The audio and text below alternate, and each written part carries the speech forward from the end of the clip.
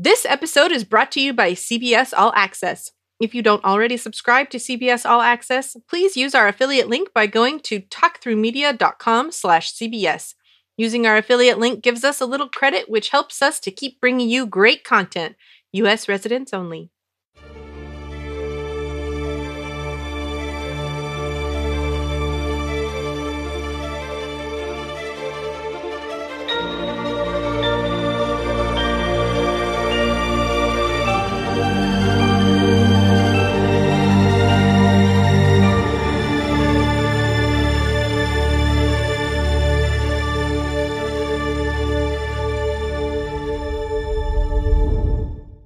Hello, and welcome to episode one of the Star Trek Picard cast. I'm Brian, And I'm Ruthie. and we are so very excited to be doing this podcast. I, I think that this is a dream come true. oh, yeah. Yes. so many of you may know us, and for that matter, you may be hearing this uh, first episode on our other podcast feed, which is the Star Trek Discovery podcast. yes. So, yes, we do a podcast on Star Trek Discovery if you're listening to us for the first time. And that doesn't mean that we are not old school Trekkies. No. We have been loving Star Trek for all of our lives. Yes. And we are not spring chickens. We're not noobs. nope. so Picard is, uh, I think, for both of us is is uh, a big. I've told people for many years. I've said this at least probably a hundred times, and the other podcast that Ruthie used to do, and I still do, the Walking Dead talk through. That the two characters in television, in media, in everything that I have felt the most bond with, the had this connection with, are Rick Grimes and Jean Luc Picard in no particular order. and so it was quite the shock and just blessing when uh, last August at Star Trek Las Vegas, they announced that Jean Luc Picard is back. Mhm. So with, this isn't going to be a. Uh, we're not going to do our our usual thing. Like for example, if you've been, you know, listening to us on the other podcasts, we have things like our Yes! our yeses and our No! and normally we have uh, Ensign Tilly has this as of course Captain Killy. Hello, this is Captain Tilly. What the heck? Heck, hell? What the hell? Hold your horses. We will not be doing Hold Your Horses for this podcast. Instead, we are going to replace it with our good band, Picard. And we are going to play. Not good enough, damn it! Not good enough! oh, yeah. yes. So, so when something is not quite there or ma- gives us pause, it goes into the not good enough section. Yep. Yes. So anyway, before we really get into it, uh, let's just kind of introduce ourselves to to people. I'm gonna throw it over to you, Ruthie. What do you want to say about uh, your love of Star Trek, love of Picard, love of this show? Anything you want to say? Oh, man. Well, okay. So my love from Star Trek uh, stems from the original cast and the original series, uh, which I used to watch reruns of because I was not yet alive when it was originally airing. Uh, but I fell in love with it with the movies.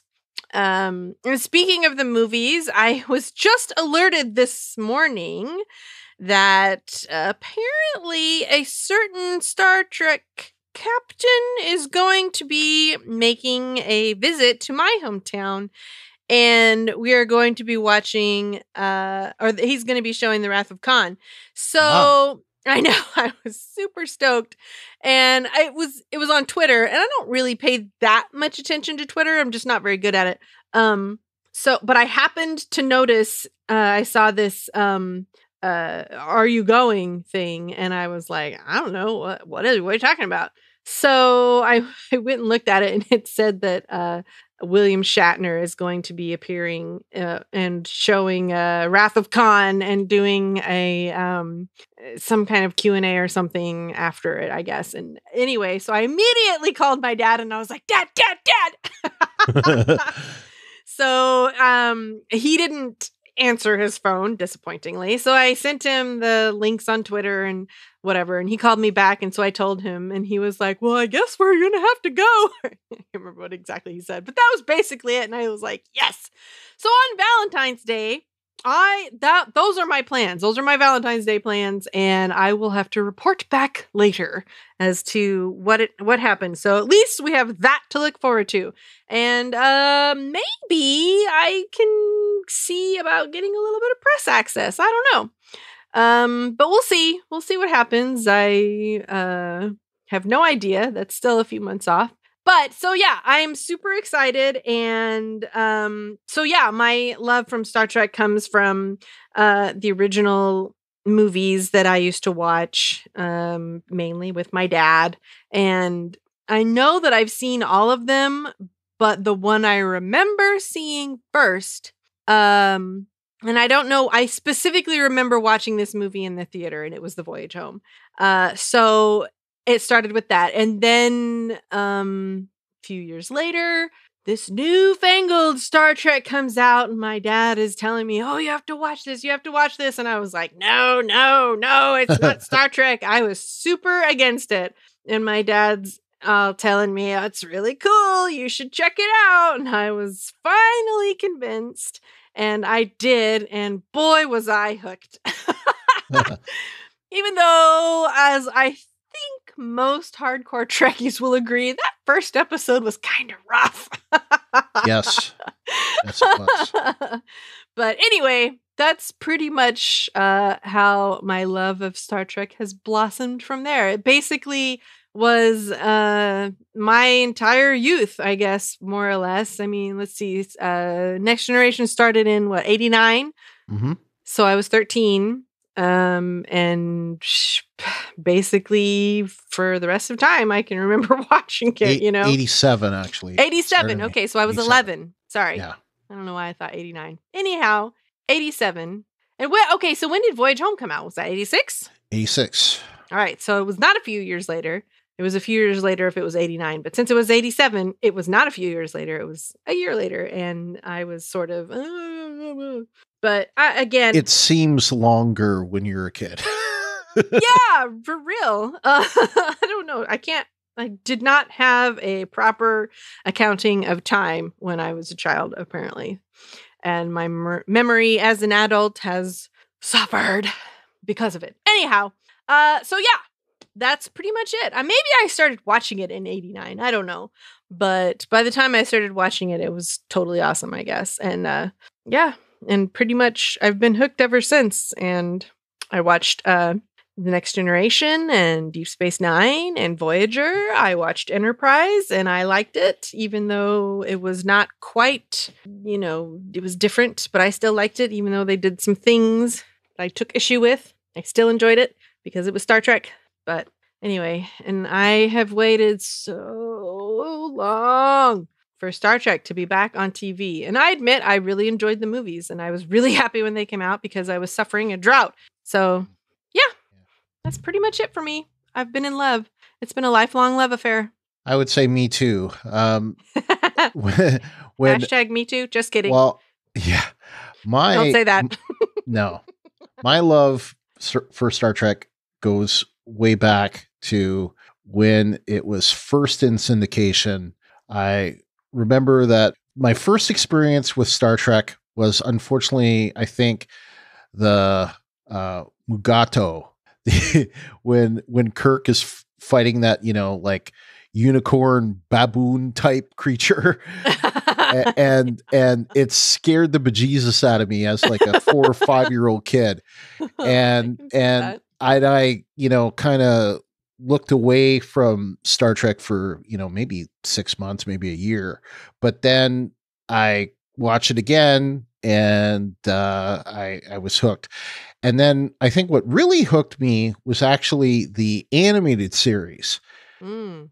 And I remember watching that religiously when I was a kid every Saturday morning. And Oh, I don't think I ever watched that one. yeah, it, it's it, it's actually really good. And some of it was cheesy, of course, for you know seventies uh, filmation, you know, animation. You know, the same company that made the Super Friends and all that stuff. You know, Wonder Twin powers activate. right. Yeah. yes anyway so um so there was that and i remember like being very confused when i was you know seven or eight like why how come it's they're not playing star trek on saturday morning anymore? Mm. you know? So anyway but i kept on watching you know the original series for for years and years and um didn't see the the movies when they first came out. I saw them on i think broadcast tv or or on vhs first. I think the first one that i saw in the theaters was star trek 4 Yeah. Home, I, I think so. That was Um, the first one I remember seeing in the theater. I feel like I probably saw the others, but I remember seeing that one distinctly in the theater. I may have seen Star Trek 3 in the theaters, but I definitely remember vividly Star Trek 4. So, Yeah. I I remember Star Trek 4 as well. Everybody Yeah. called it the Save the Whales episode. yeah. It was it was really cool. And I was in college when uh when Star Trek the Next Generation started.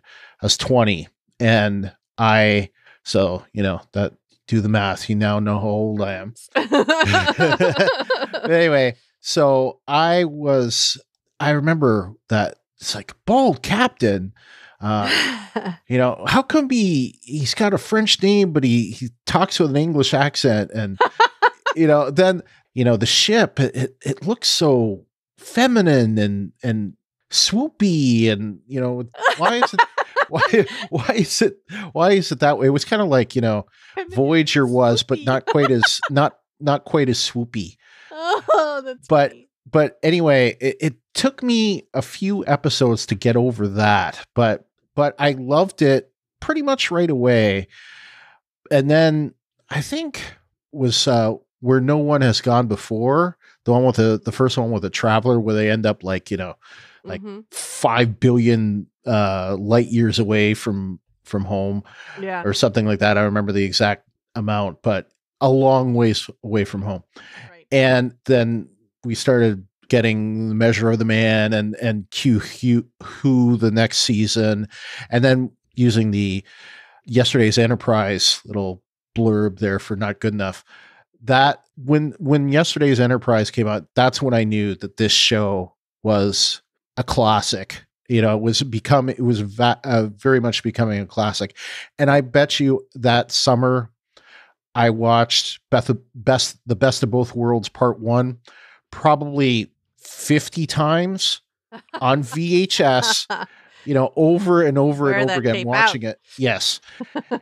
And um, I grew a love for Star Trek The Next Generation far beyond anything, a- any TV show, any movie, any anything. I love that show so much. I probably watched it, I'd say on average, at least three hours a day. Like it wasn't enough to watch it in syndication on one channel and then on syndication in another channel because we're you know when i lived in toronto uh, for example it used to be on in buffalo and then it would be on in toronto so you, you'd be able and, but that wasn't enough so i'd also watch it on vhs Cool. but but anyway one day i was watching a particularly bad episode and Oh. I, I know you know the one is is titled Angel One. It was where like uh, Riker was kind of a sex object, uh, Mistress Beata, and uh, I watched that episode. It was you know in syndication. I think I think the show was in season four. I want to say, and I watched it. I'm like, that's not a very good episode. You know, if I had if I had made this episode, I would have done this and I would have changed that and I would have done this. I think I could write a better episode than this. And then I got a question in my head that changed my life. I said, Well, why don't you? I was like, Yeah, why don't I?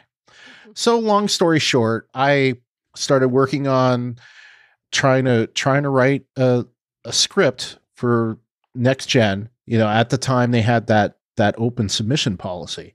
hmm So I worked on it. I went to a seminar in um, Dearborn, Michigan, at one of the Star Trek conventions, and putting on the seminar was uh, Brannon Braga and Ronald D. Moore. So two guys that have gone on to fame and fortune uh, within Star Trek, and of course, you know, uh, doing all sorts of stuff since then.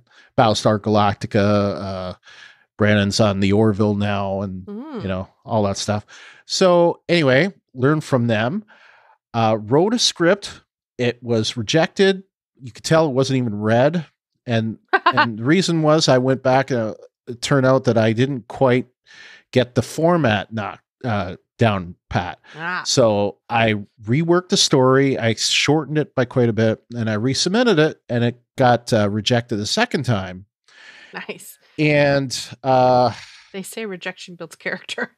well but it was enough to get me a chance to pitch. So uh, I pitched directly to the showrunner, uh, Jeri Taylor, at the time in season seven, and nearly sold the what would have been the last story that they were going to buy for next gen. It ended up that they went a different direction, and they the the one that it would have been in that in that time slot was the uh, preemptive strike, the one where Ensign Ro becomes a, a Maquis. hmm But that was enough to get their attention. And I started, and this is like 94.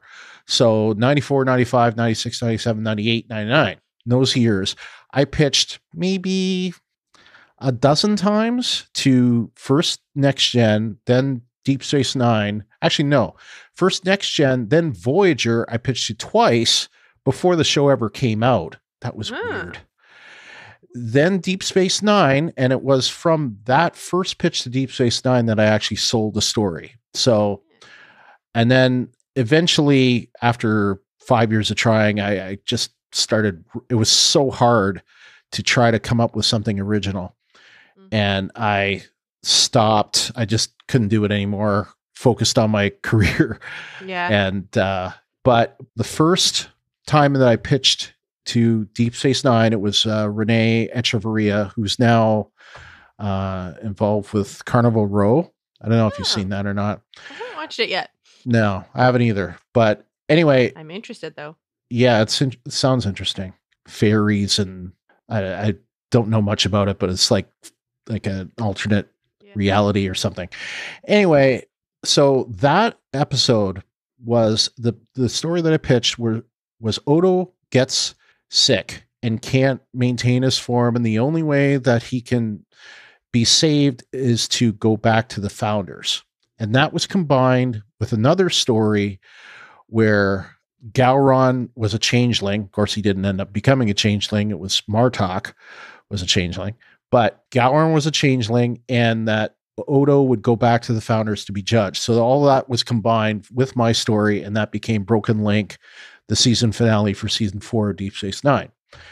So that's been like my calling card for for years. hmm Um, and you know, I but I went away from that for for a long time. When Star Trek Discovery, and we should we should mention that you and I have been podcasting now for five years together, hmm and we started with The Walking Dead, Mhm. and Ruthie decided one day she didn't want to do that anymore, which I understand. And at, at, at least in terms of fear, you were 100% correct. oh, that that season 5 was tough. Oh. But I'll tell you one thing, it was a lot of fun to podcast on. Oh. I think we were more amusing than the show. oh. Well, good. But- I'm glad. yeah. Well, but anyway, um, so you know, we've been podcasting now for f- five years together, and when Star Trek Discovery was announced, I knew that I had to cover it. And when the first trailer came out, I was like, "What the hell's with those Klingons?" oh yeah. and I Ooh. was pretty skeptical, but I said, you know what? I'm gonna. It looks beautiful. I'm gonna give it a chance. And took me a few episodes, but I'd say I loved it. And I hosted it originally with uh, Adam Drake, who was a coworker of mine at my last job. And it was funny. Ruthie at that time quit covering The Walking Dead. And I no- started noticing how much we were talking about Discovery. and right at the end of the first part of season one, Adam said, I can't do this anymore. So it was like a week later that after you had left The Walking Dead, I was like, so, um, so what would you uh, think about uh, being my host on Star Trek Discovery? and I said, sold, no take back. yep. And and so we've been covering that. And uh I know that there's going to be some people uh, that are listening to us for the first time that have not watched Star Trek Discovery or have watched it and didn't like it. Decided it wasn't for them. Right. And to you people, I would say that's your prerogative. You know, the, the- we won't judge you uh, on that, but we will say that we love we love Star Trek Much Discovery. Anyway. No, well, okay. we think we we do think kidding. we do think that you should give it a chance. Um, Another chance. yes, It because changes drastically in the second season, I believe. Yes. And if you like if you watch the pilot for example and you thought that's not Star Trek to me. You know, I've gone back actually recently I started doing another rewatch of Discovery. Uh-huh. And um yeah, I totally get that. Totally do. hmm Give it a chance. Let that first season go through. You might like it more by the end of the first season. But by the second season when Captain Pike comes, Ugh. Ah, he is amazing. And if you and if you guys if you haven't watched Discovery and you hear about you know people saying we want a Pike series, that's why. Yeah. I- If I tell you, he is. Eh, the, it is amazing that you know around the same time frame that we're getting back Picard and we've had Anson Mount as Captain Pike because I'll tell you he is amazing in that role. And if you are a true Star Trek fan, you really, really, really need to give that show a chance. Yeah. But I mean, if you like Star Trek, you should give it a chance because I think that you'll like it. It's Yeah. and I mean, unless you have some kind of uh I don't know what moral stance against the paywall thing, which I also get, yeah, but at the same time, it's really good. I mean, it's complete the second season almost does a 180, I think yeah, they did i kind of feel like they did a lot of course corrections and i admit i was concerned at the end of season one because they were bringing in the enterprise and i was concerned i was trepidatious cautiously optimistic about whether or not they would be able to do it without completely destroying all of that history from the original series you know right. so it turned out great though. So Yes, that's my did. pitch for Star Trek Discovery. If you guys haven't watched Star Trek Discovery, I think you should give it another try. Don't take our word for it just yet. Give us a little bit of time with Star Trek Picard, and then maybe you'll believe us. yeah.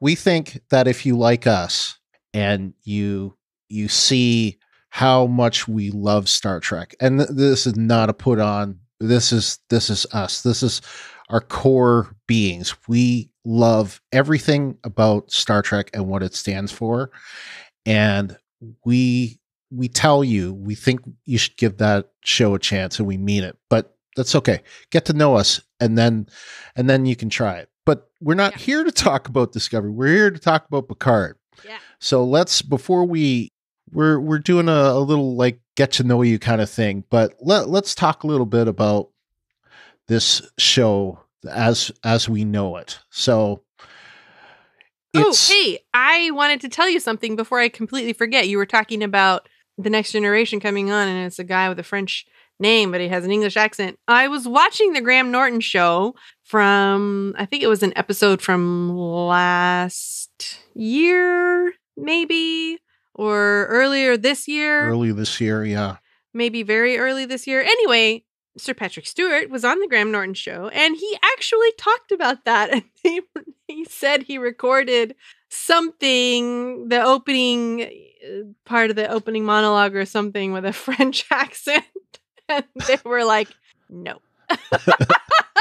so Can you imagine? the reason why. Oh my gosh. So that's the reason why there's no French accent because Yes, it would be like tested it for them and they were like, no. it would be like Jean Luc Picard meets Inspector Clouseau. yeah, exactly.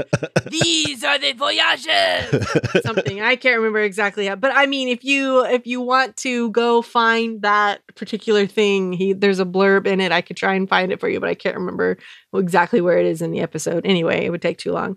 But yeah, maybe I'll try and find it and play it for you later because it's hilarious. So, anyway, what we know about this show, it's going to be 10 episodes. We know that it's going to start January 23rd in the US and Canada. And I think it'll be available on Amazon Prime, not Netflix, in international markets because Discovery's on Netflix, but I think Jeff Bezos said we have to have Picard. so so anyway, smart man. yeah. And we know that it's serialized, much like Discovery is. But the thing that Kurtzman has said, Alex Kurtzman, the I call him the Kevin Feige of the Star Trek universe now. He has said that it's slower, more contemplative. It the showrunner of it is uh, Michael Chabon, who is a Pulitzer Prize award winning author and just you know based on the things that i've heard them say uh, the enthusiasm of patrick stewart in talking about this series the the cast that seems to be a part of it how they brought some characters from the next generation and even voyager into this Yes. i, I think that it's going to be amazing so And it takes place 19 years after Nemesis, right? Right, right. Something Which something like that. yeah. Was 19 years ago. Yes, So exactly. they are I mean they they're pretty much, you know, real time kind of real timing it, I guess, whatever. Yeah, the the date that I've heard is 2399 is when it's supposed to take place. That hasn't been absolutely confirmed, but that's where we think it occurs. And Picard, it seems like Picard le- has left Starfleet. Mhm. He was an admiral. Mhm. but he has left Starfleet. We know that there is a tie in to the 2009 Star Trek film.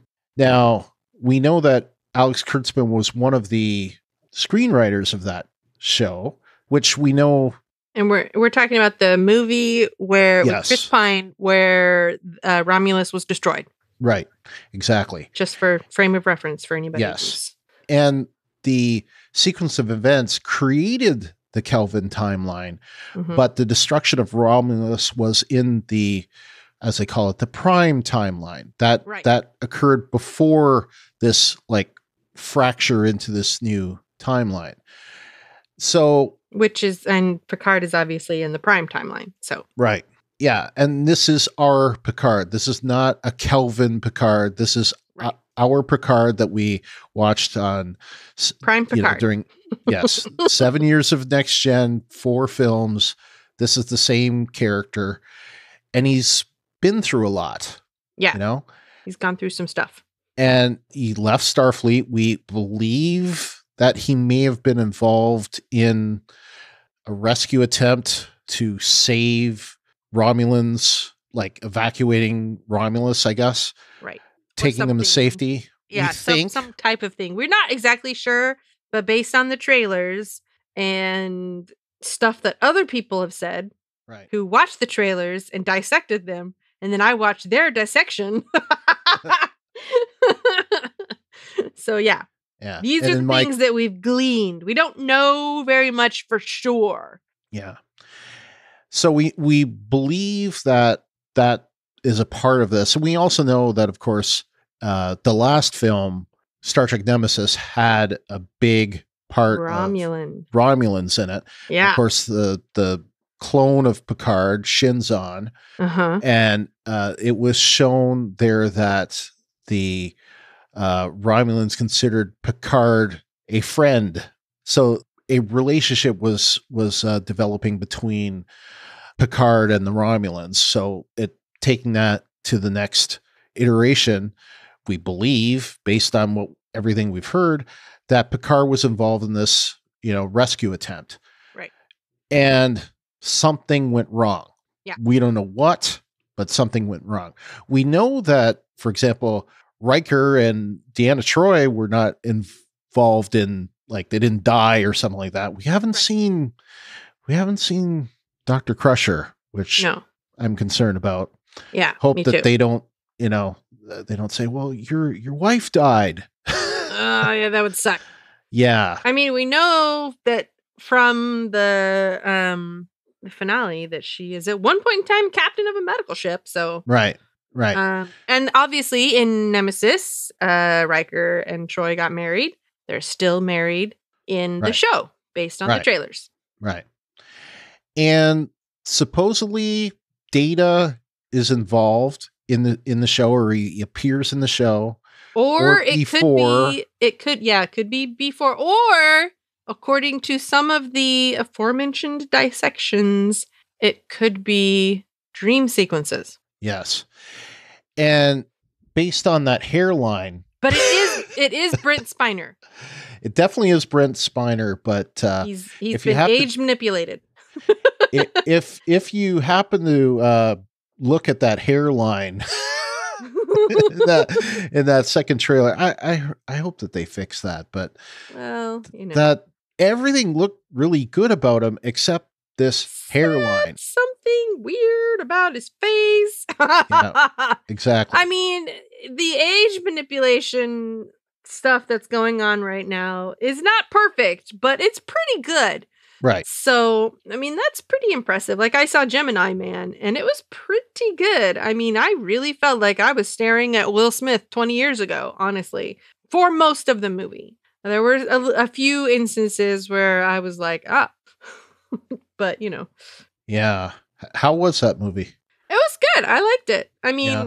I really like Will Smith, so he can probably sit in front of a camera and read the phone book, and I would probably be entertained. So he is a very entertaining individual. Fresh Prince. Oh yeah, anyway, so we know that anyway, we know the Romulans are involved. We know data is data or B-4 or dream sequences or whatever, but the character of data appears to be a part of this somehow, knowing that data saved Picard's life in Star Trek Nemesis, right? So yeah, sacrificing himself. sacrificing himself. So, as far as we know, Data did not survive that, but his uh, memory engrams, I think, were downloaded into the For B-4 Android. So But he could be B-4 wasn't exactly stable or something. Right. if I recall correctly. So he couldn't exactly be, I guess, taken over, if you will. I mean, it's hard to kind of figure out exactly what the terminology is because, you know, Right. artificial intelligence. Anyway, So we think that uh, that android that's in pieces and parts that was in the first trailer, not the teaser trailer, that was just the one that had uh, Picard on the orchard, but Yeah. the the full length San Diego Comic Con trailer, right. it had data in A drawer a drawer or B-4. or B-4.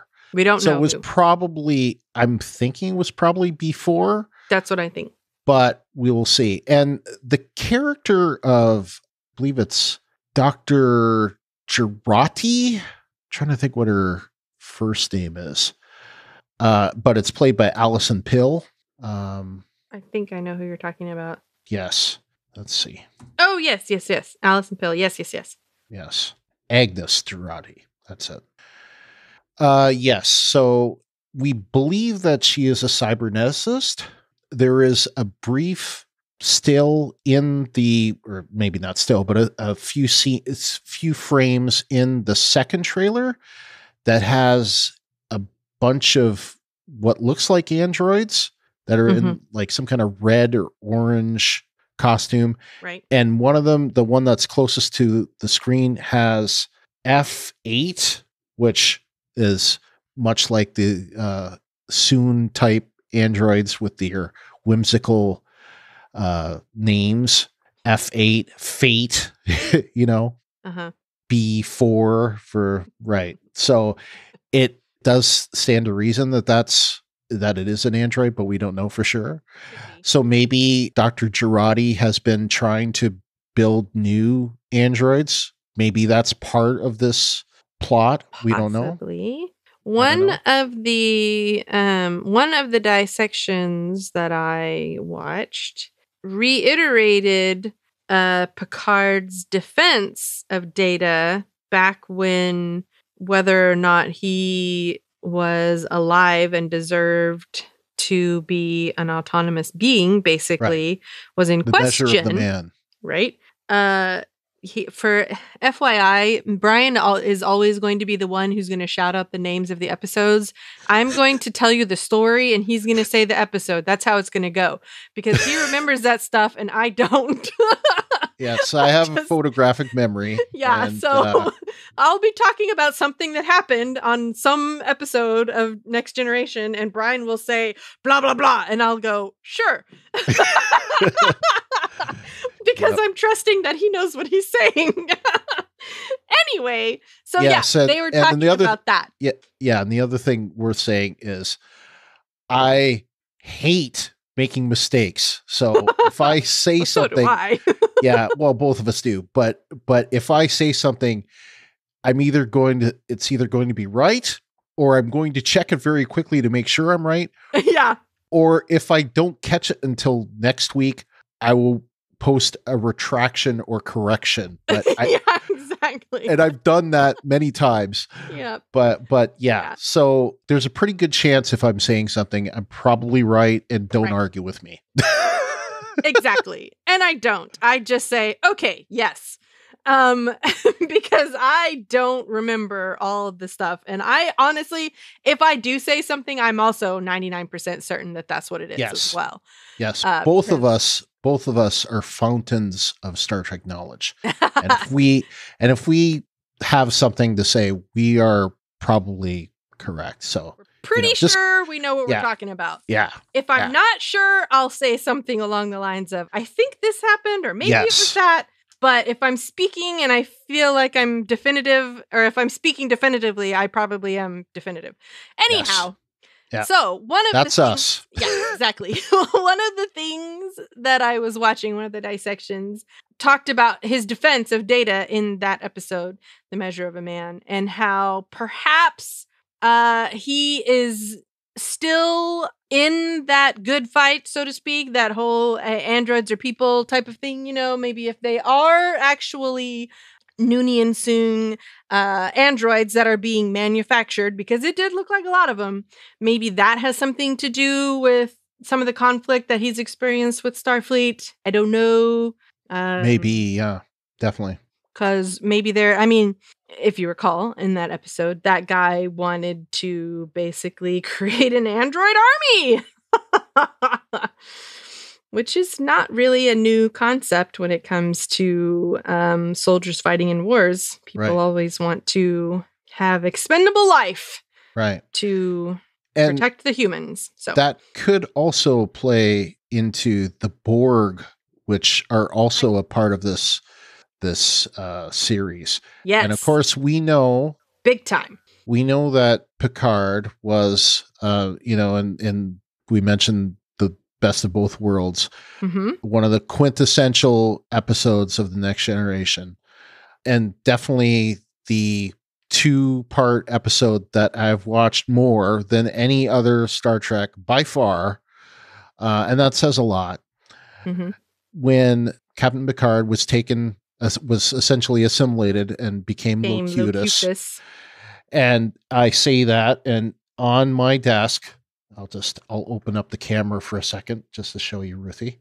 Um, Locutus. Yes. I have had I have had Locutus. It uh, was a Playmates figure, I believe. Um, I have had that for about 25 years, I think, and it has been sitting on my desk. In fact, today I or actually yesterday, I took it from my desk at work, which today I just had my last day at my present job and on Monday I start a new job so that I work from home. Yay. We'll be working from home from now on. But anyway, so I brought I brought Locutus back to me so Locutus will be sitting on my desk watching me talk about Picard and judging you. and judging me, yes. Yeah, in fact I have another there's there's a regular Picard also on the desk. So I have two Picards staring at me uh, Ah. saying you'd better do a good job. Not good enough, damn it. Not good enough. anyway, Ah, exactly. so so um oh my goodness. so Locutus anyway, that that was such a, a, a an important story. The Pivotal episode. yes, uh the Lots of stuff happened. Yeah, uh family, the the one where, you know, he went to the vineyards and met with his uh his brother and their family and and you know worked out a lot of that pain and and uh Angst. angst that trying to get over the torture of that Yeah. The PTSD, basically. Yeah and then later of course you know the following season season five they meet up with you know that uh borg ship and they they were about to send uh hugh Q back as You know- basically a bomb. yes a, Knowledge bomb. with a a puzzle basically a, a geometric shape that doesn't exist Uh, the in it was somehow that would the borg would look at that and go hmm what's what is this and then yeah, and then that would be enough to- it. shut the shut the network down Yeah. which I always thought was kind of interesting Well, I mean, it's like giving a computer tic tac toe and saying when. yeah It's the same thing, you know, back from uh um uh war games, right you know? You can't the computer will basically burn itself out. That's kind of what they felt like would happen with Right. the hive. So or the collective, sorry, the Borg collective, that they would basically just spend all their time trying to figure this thing out. So yeah. It could have worked, but somebody has a soft spot. i always lie i'm telling the truth Right. yeah so It's that yeah, exactly so. yeah And didn't they at one point in time think that just sending back a self-aware uh drone would basically the whole thing because right and the and whole point is that they're not individuals, they're collective. Right. And I think to to an extent that did happen, but it it somehow got cut off from the rest of the collective and that one cube was drifting out in space until Lore, Data's brother, Right. What was rescued by them and kind of took them over, you know, as as a cult leader essentially. Yeah. And the reason why was because they gave Hugh an identity and sent him back, and he didn't know how to cope with that. So he was Right. basically adrift. And they did Right. that. That was the, I mean, I guess you could call that the law of unintended consequences because they didn't really count on that. I mean, they kind of Right. thought maybe it would happen, but they didn't really understand the magnitude of it. And anyway, the Borg is going to be a part of Star Trek Picard. Right. That we know. That we know. One of the, and I froze this image and pointed it out, I think to you, hmm that um, this one image in the um, in the first trailer says this facility has gone 5,843 days without an assimilation. Relation. Yes. And apparently, what I did not know when I sent that to you was that it says the exact same thing uh, perpendicular to it in Romulan. So this Yes. is a Romulan facility right. that has gone 5,000 blah, blah, blah days without an assimilation. So, And we see some kind of damaged cube it that Yeah. looks like it has been partially kept together by like force field or or something. something. Maybe it's given it- an atmosphere atmosphere via force field, maybe. Yeah. Yeah. And we see uh because the we see- Romulans are without a homeworld now. So they've got to basically go where they may and find what they can.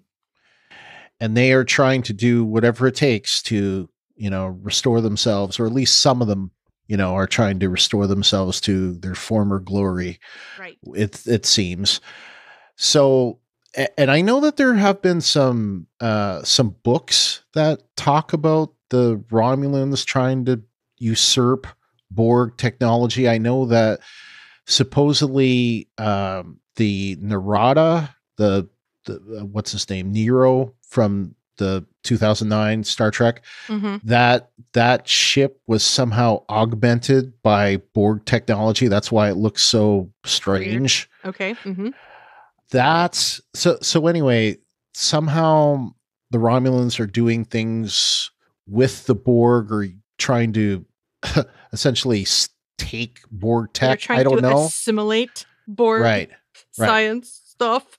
right.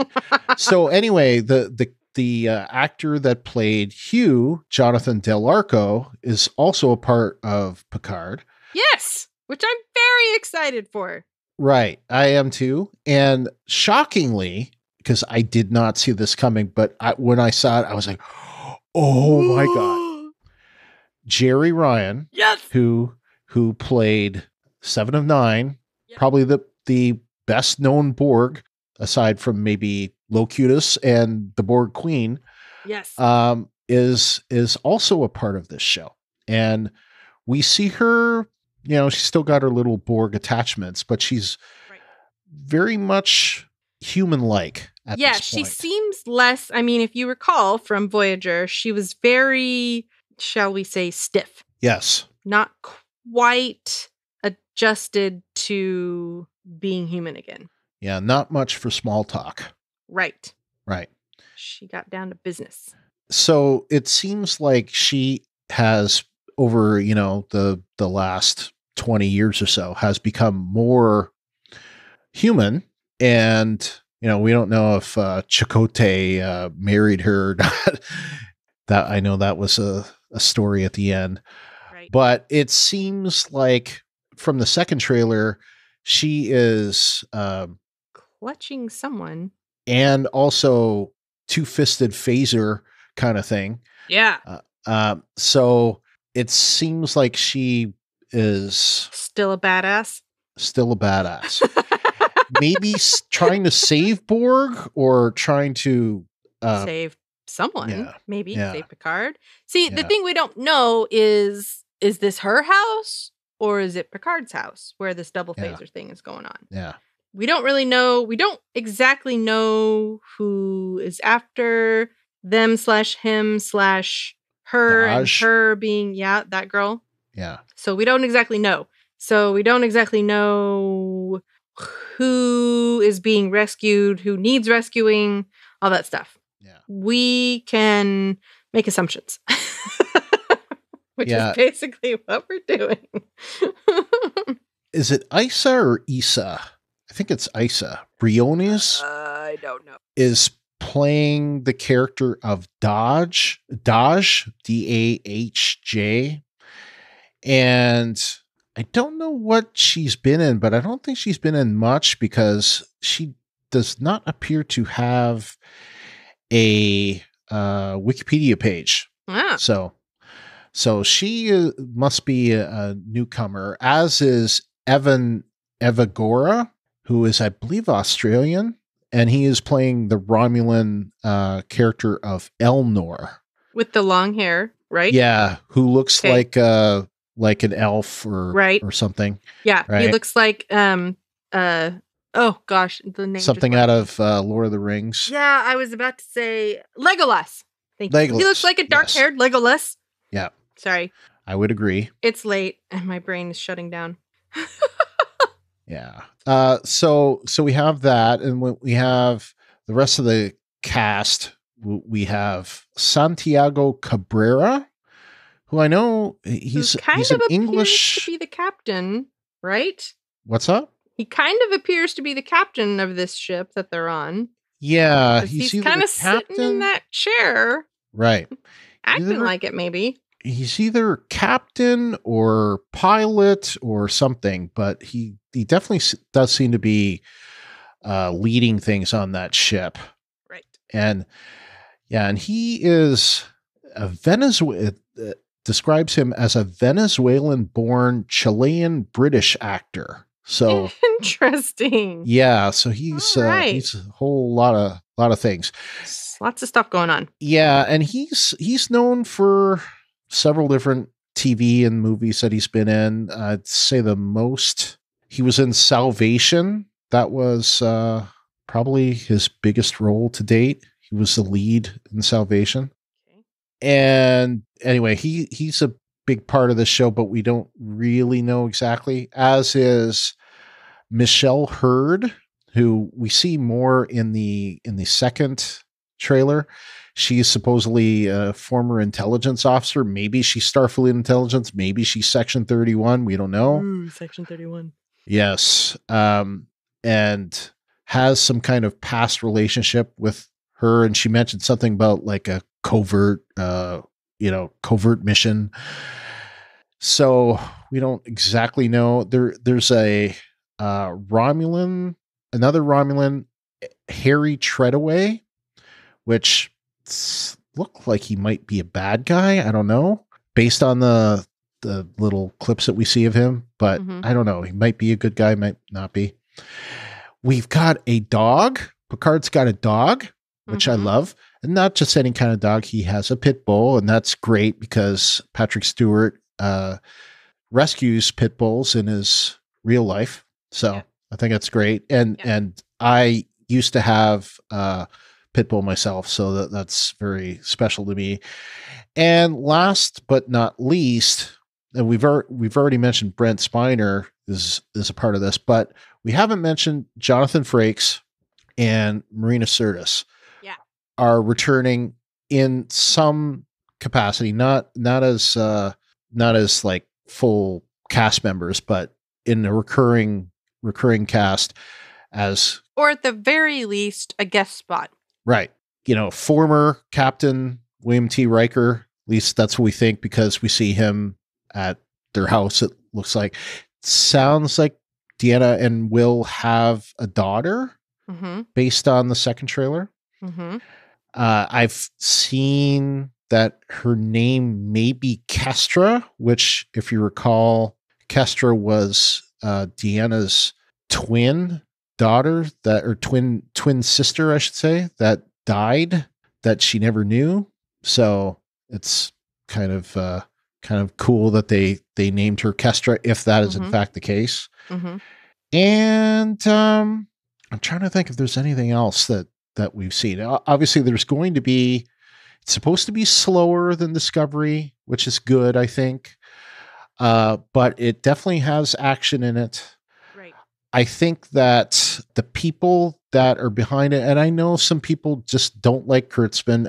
I don't know why. I don't really have a problem with him. And based on the things that he said, I think that the Star Trek universe is in good hands with him. I think he will watch the universe very closely and and is taking in the things that the fans say and like for example at the New York Comic Con panel he was asked about putting a statue or s- some kind of way to honor Captain Nog which I think was great. Of course uh, Aron Eisenberg just recently passed away who played Nog on Deep Space 9 by the way have you did you get to watch uh, what we left behind yet? I have not yet. Okay, we have to correct that. so, uh, we'll we'll talk about that at some point, probably on our Patreon, actually. Yeah. So so yeah, that's uh, just a little bit about us and about this new show that's coming out. Uh, and uh, let's just tell people where to contact us. And you want to take that? Sure. So, for those of you of who have listened to us before, we have slightly different uh, contact information for Star Trek Picard. Uh, m- much of it is the same, some of it is different. For those of you who are brand new, please send us feedback. We love to get listener feedback. Uh, that's one of the main focuses of our podcasts. We love to interact with people. Um, I mean, Brian and I love to talk about Star Trek. We could probably just sit and talk about it all we want. But we like to include the people who also love Star Trek, who like to listen to us, so that they can be a part of it too. So, um, we love audio feedback, but we also accept written feedback. You can submit those theories, feedback, or other general comments or what have you by going to talkthroughmedia.com slash feedback where you can submit text or if you have recorded yourself you can submit your audio. You can also call us at 216-232-6146 and leave us a voicemail. Uh, you can submit written feedback by going to or sending an email to i should say picardcast at talkthroughmedia.com or you can post in our designated episode thread in our Facebook group, which is facebook.com slash groups slash Star Trek TTM podcasts. Uh, we also have Twitter for those of you who tweet, uh, which is not me so much. And- but we do look at it. Uh, and the Twitter is at Picardcast. Yes. And we should mention if we because I don't think we mentioned it. The the last episode that we did of the Star Trek Discovery podcast back in July, we were still part of Golden Spiral Media. And since then, uh, we have taken the podcast that we do independent and we have formed a new network of our podcast called Talk Through Media. So Yeah. that's that's uh, that's a big part of what we're doing now. So we're all uh, independent, and Ruthie and I uh, are a big part of that network. And uh, we also have the Walking Dead talk through and Fear the Walking Dead talk through. And they're all part of this new talk through media network. So, yeah. So, uh, yeah, exciting. you may be getting this uh, first episode on the Star Trek Discovery podcast feed. That to get the next episode, it will be exclusively on our new podcast feed for the Picard cast. And uh, how you can find us, for one thing, you will be able to find us, and it's really, really hard to find us. You just go to Star Trek StarTrekPicard.com and that will take you to our podcast. Yes, that's right. We own StarTrekPicard.com. So you go to that, and that will take you to TalkThroughMedia.com and the Star Trek Picard cast. So uh, we want to say, though, that you may have picked this up from the Discovery podcast feed, but look for the Star Trek Picard cast feed on Apple Podcasts or whatever podcast client of your choice. It may not be there when this episode is released right away, but uh, it doesn't take as long as it used to. A day or two later, you will find us on Apple Podcasts and uh, subscribe to us because that's where you will find more episodes to come for this. And uh, of course, if you're getting this on the Star Trek Picard cast feed, uh, go to Yay. Star Trek Discovery Podcast.com, and that will also take you to the Star Trek Discovery Podcast feed. So, um, those are ways to get a hold of us, but that's all part of talkthroughmedia.com. Those are all redirects that bring us to the talkthroughmedia.com. But help us out when we post things, we will we will be posting things on the Talk Through Media Facebook page. Those we do that because the Star Trek TTM podcast Facebook group is a private group. I think it's called closed group. That's what it's called. So you can't share those, but if we post them first to the uh, Talk Through Media Facebook page, you can share those. So yeah, you can help us out by sharing them. We should say the only reason why that group is closed is so that we don't get nutters in there who do crazy stuff. Right. So basically, just ask to join and we will let you in as long as you tell us what you like about Star Trek. Yes. That's that's all you have to do. That's the gateway so that we don't get bots. Yes. exactly. And uh, it is a small but a lively group and there are a lot of great discussions on there and that's typically where people submit their feedback to our podcasts. And yeah, uh, that's where the bulk of it comes from. yeah, and both the Discovery and the Picard podcasts will use the same Facebook group. The only thing that's really changed is the name of it. So uh, we changed the name, we changed the URL, but it's the same group. So if you belong to it now, you're Yay! already there. Yeah. So uh, we should also mention that since the last time that we podcast on the Star Trek Discovery podcast feed, we have a Patreon. yes. Woohoo! Yes. So go to patreon.com forward slash Brian and Ruthie. So that's easy enough to remember. Yeah, if you want to. I mean, we would love it. Yeah. And we will be releasing some special content specifically to our Patreon subscribers in the next few weeks. Um, Specific Patreon content. Yes. So we have already uh, some Patreon subscribers that we would like to thank. Yes. Um, Thank you. yes. We would like to thank our patrons Yes. uh, Clint McCollum, Thank you. our good friend from the Talk Through Media Network, Kyle McAdams. Oh, thanks, Kyle. You may know him as Fred from the Netherlands, but Fred Petrie, James Robbins, also known as James the Augmented Sailor, and Lawrence Todd, also known as LT from NC. Thank you so much, Yes.